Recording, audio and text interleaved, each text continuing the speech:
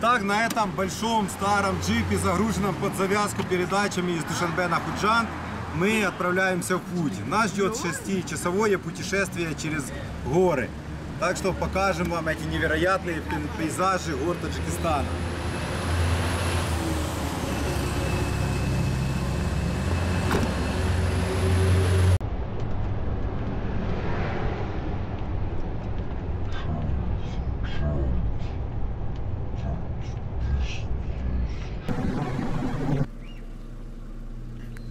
Motoru. Hani tuda yedi Duşanbe. Bütün Belş Bey. Duşanbe.